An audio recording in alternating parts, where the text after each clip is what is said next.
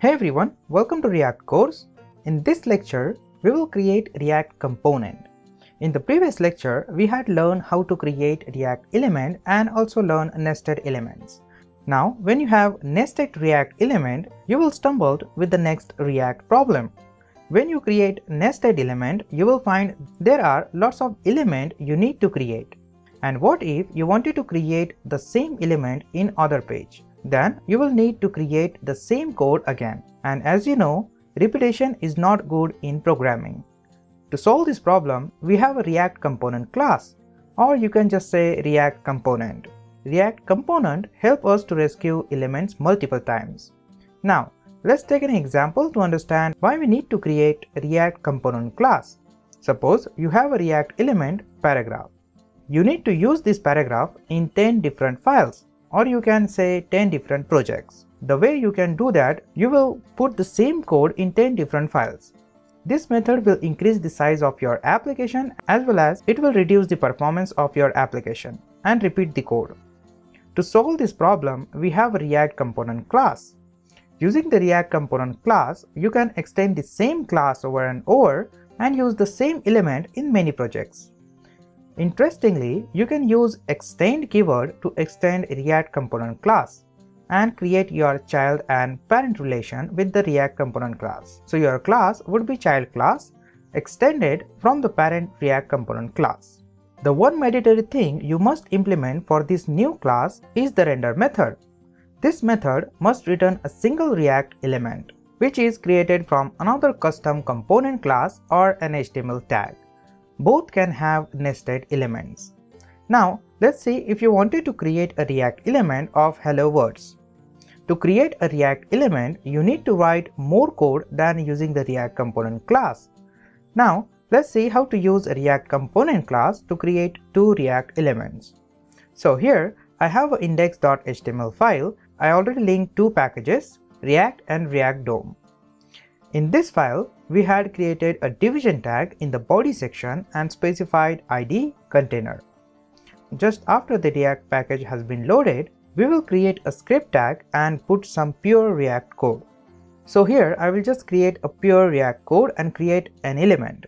So I will just say let h1 is equal to and call the react dot create element method. So I will just say react dot create element and in the parenthesis I will create h1 heading level element, specify comma, specify null because I don't want to specify any property and then specify inner HTML text. So I will just say hello world here.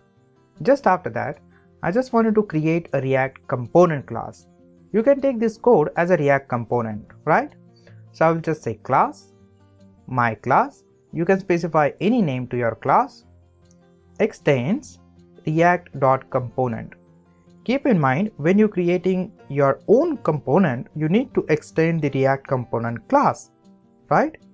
Just after that, here in this class, the mandatory thing you need to do is to use render method.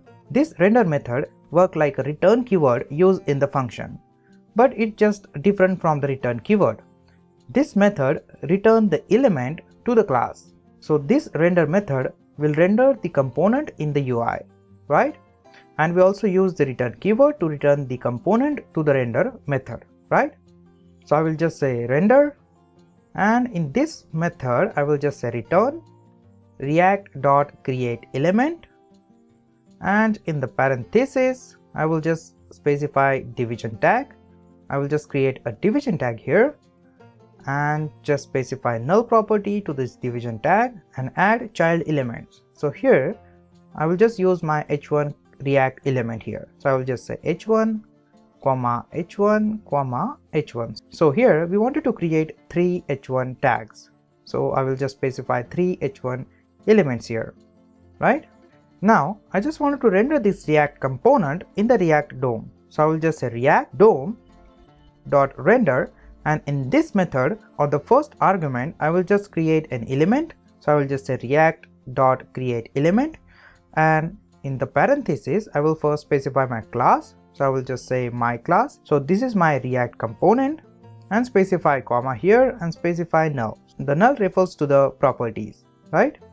Just after that, I just wanted to append this component in the division tag. So I will just say document.getElementById by ID and in the parenthesis, I will specify my ID. So I will just say container here, right? So when you execute this code, you will get three React element on the document. So the power of React is reusability. It leads to faster development and fewer bugs. Components also have lifecycle events, states, DOM events and other features that let you make them interactive and self-contained. In the next lecture, we will work with the properties of the React element. Right? I hope you understand this lecture. If you have any question, you can ask me in the comment. Answering the question specified in the comment will definitely help you to improve your knowledge. That is all for now. We will see you in the next lecture.